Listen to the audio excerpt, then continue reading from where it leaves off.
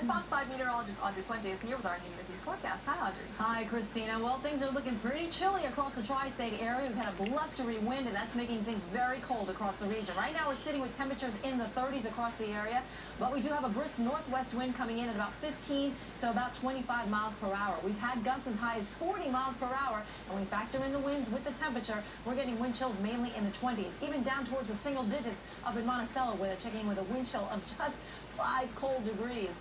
A look at our Sky Guardian radar shows things are nice and dry right now. They will stay that way through tonight as well as into the day tomorrow. Tonight's lows will mainly be in the 20s. It will be a very frigidly cold night tonight with those gusty winds.